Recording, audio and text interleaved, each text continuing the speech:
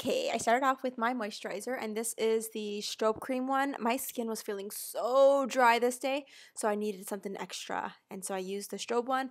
And then later on, I ended up using my Nivea Aftershave Balm. This stuff is amazing. It's so good. It like really, I can't really do my makeup without it. Then for my foundation, I ended up mixing two. I wanted high coverage, but I wanted a little bit of softness, which is what the Face and Body does. So I mixed both of those together, um, and I just really like the way it turned out. It gives me it gives me that like perfection that the Studio Fix Fluid does, but then it also gives me a little bit of that lightness that Face and Body does, which I really enjoyed. Then I'm using the Benefits Stay Don't Stray eyeshadow primer. This one is in medium deep and I'm spreading that all over with my beauty blender.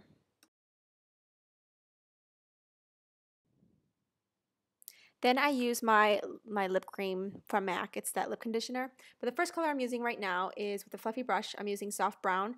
I just needed something really quick to transi transition. I realized as I was editing this, I'm like, huh, this looks really familiar. I, I do this look all the time. So if you feel like you've seen this look, you have. But this is how I'm doing it. Um, actually, I did a little different this time though. So then I'm using the soft brown and I'm blending it out and then I'm using amber lights with a flat brush. Um, packing it on with my flat brush, putting it on the spots where I need it and then taking a fluffy brush and just blending out the outer edge. This is like so important that girls forget. Just blend out the outer edge. Don't go on top of the actual eyeshadow, just go on the very edge of it. And you're going to see how much like smoother your eyeshadows look together. Then what I did too is I kind of pulled my eye taut, which I nor- don't normally do except with these kind of shimmery shadows. And then I applied the shadow again and then blended it out. It just kind of gave more pigment.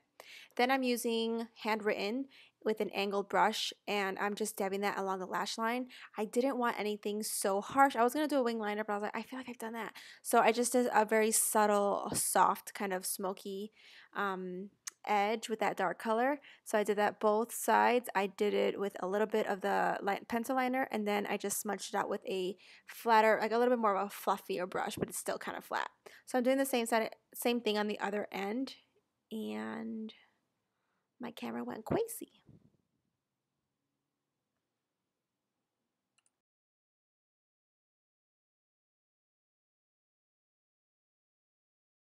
What I ended up doing also is just adding a little, like tapping my brush with a little bit more of that handwritten and just putting it on the outer crease. I just felt like it needed a little bit more something. The color wasn't dark enough. I didn't want to use black and I just wasn't feeling it. So then the next thing that I did is I took the color Phloof from MAC. It's very high shine pigment, crazy shimmery, and I put that in the very center of the lid. I just felt like it gave it a little bit more pop and more dimension for my eyes.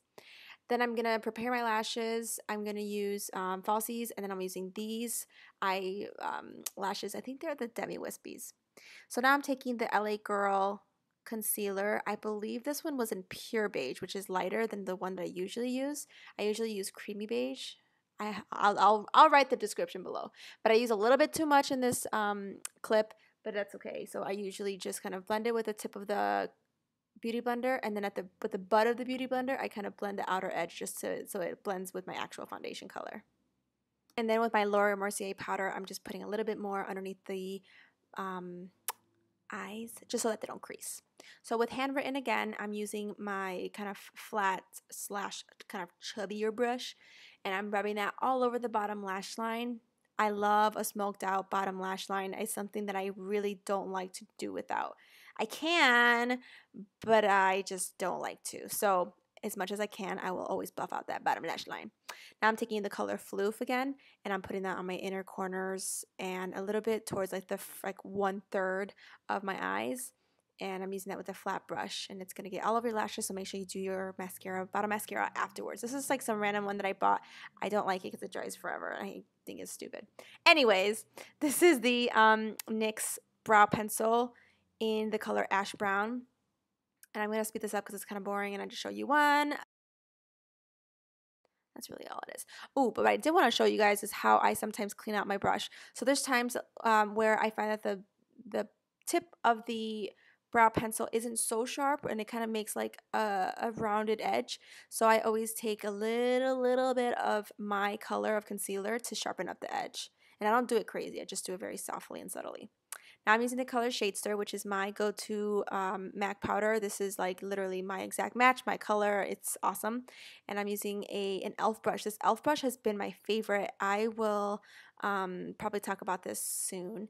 But this e.l.f. brush is just awesome. It really helps with kind of laying the color down, but also getting into the grooves of certain pieces certain pieces, certain uh, grooves of my face too. So that's why I really like this brush. But I'm putting that all over my cheekbones and then the tops of my forehead. The forehead part is where I tend to get tanner, so I always want to make sure that it looks tan there.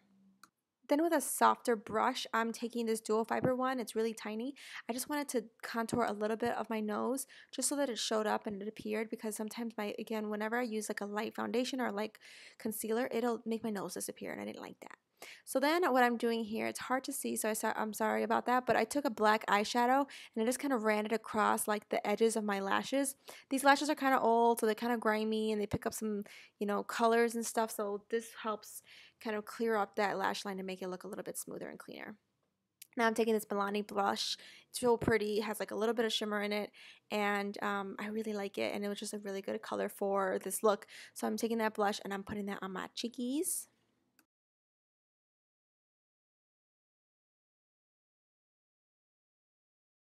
And then with this awesome highlighter, this is from Physicians Formula. It's one of my favorites. I put that with a uh, another e.l.f. brush, which I really like. This one is actually a blush brush.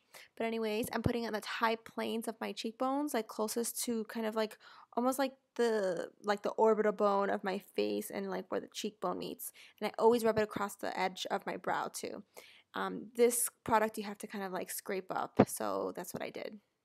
And then for my lip liner, I'm using this red lip liner from NYX. I'll put all the description, all the details in the description below because I don't have all the stuff in front of me like I usually did. I filmed this forever ago. I filmed this like three weeks ago, you guys. It's so bad.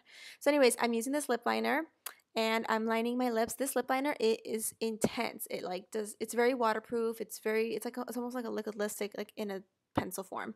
It's intense, but it also accentuates ugly, gross peely that happens to your lips and I will show you that in a second.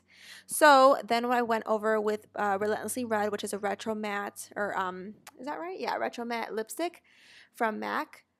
It made my lips disgusting and it's because I didn't exfoliate my lips. And usually I have to like peel my lips and pick at them forever, and I didn't do that. So I was really grossed out, and I was like, oh my god, this is gross. So I did that, I wiped it off, made sure all the skin was gone, and then I did it again, and it was perfect. So just make sure that you're exfoliating your lips um, I, there's never like one way to do it. I don't know. It, sometimes it works, sometimes it doesn't for me. I just always have to kind of do it again.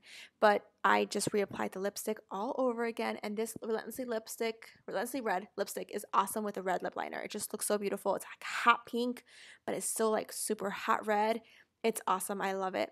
So this is the lip that I wore that day and I just felt like I needed to put a little bit more blush, which I'll show you guys in a second. But I hope you guys liked it. Just this eye is very simple, but this lip makes it really exciting and definitely gets me excited for spring. Hope you guys liked it and I will see you guys in my next video. Bye!